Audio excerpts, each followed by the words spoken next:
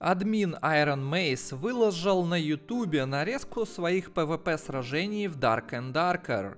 Она послужила развитию в сообществе теории о скором выходе игры в ранний доступ.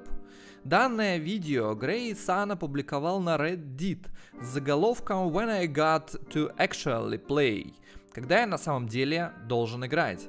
Ролик длится 9 минут 5 секунд. Теория, развиваемая фанатами, состоит в том, что здесь спрятано скрытое послание сообществу. По заверению конспирологов, ждать выхода игры стоит 9.05, то есть уже 9 мая.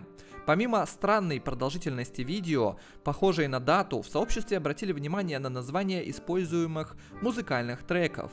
A Day to Remember – день, который нужно помнить. Следующая композиция Bow Down – Поклонись. И, наконец, Альфа Волк. К слову, после публикации видео Грей Сан прервал свое почти двухнедельное молчание в Дискорд. Верить или нет в эту теорию решать вам. Для подтверждения или опровержения нужно подождать чуть меньше недели. Напомню, что в прошлом Грей Сан уже практиковал тайные послания, и они действительно оправдались. То было связано с пятым плейтестом. Он также включал музыку в определенном порядке и многое другое. У меня есть видео в плейлисте новостей, можете ознакомиться. Однако я не уверен, что Valve, то есть Steam, вот так запросто, не основываясь на судебном решении, вернет игру в Steam. А без Steam, как мы помним по прошлому и самому геморному плейтесту, аудитория игры и, как следствие, продажи значительно упадут. Тем не менее, есть практика, и такое уже делали не раз, что, например, игра начинает продаваться вне Steam, а затем, спустя какое-то время, попадает в Steam. Здесь главное, чтобы людям не пришлось создавать новые аккаунты, и существующая статистика была перенесена. Хотя, если будут полные вайпы, то это не актуально. То есть понятно, что вайпы будут, но, насколько мне известно, планировались некие косметические предметы, которые, возможно, сохранялись бы из вайпа в вайп и продавались бы за донаты, за реальные деньги.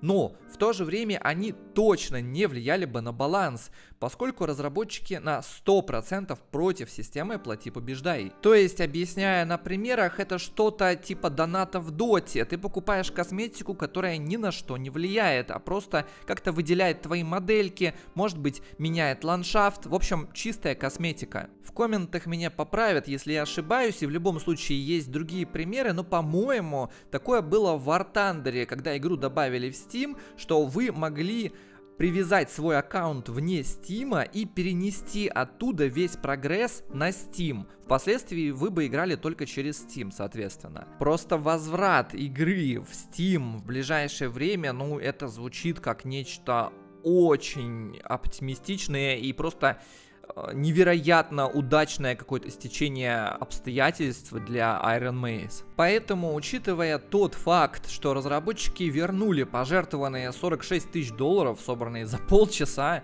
Возможно, сбор средств будет оформлен под ранний доступ, и возможно, какое-то время он будет вне Стима. Впрочем, от самого оптимистичного варианта глупо зарекаться. Все может быть. Поживем, увидим. Что им мешает, в конце концов, выпустить игру за пределами Стима пока что, как временное решение, собирая таким образом средства, в том числе на суды и на разработку, но пока что без косметических предметов за реальные деньги.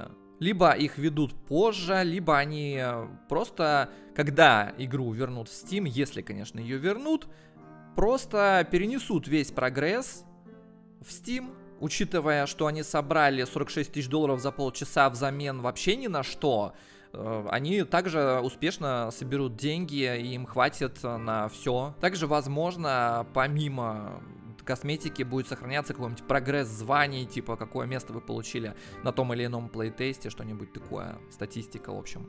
Конечно, у игры сейчас проблема совершенно иного порядка, ее попросту может не быть вообще ни в каком виде. Глупо отрицать полностью этот вариант. Nexon все же многомиллиардная серьезная корпорация. И тем не менее, почему бы не пофантазировать? За помощь в подготовке материалов для этого видео благодарю сайт Dark and Darker.ru, ссылка в описании.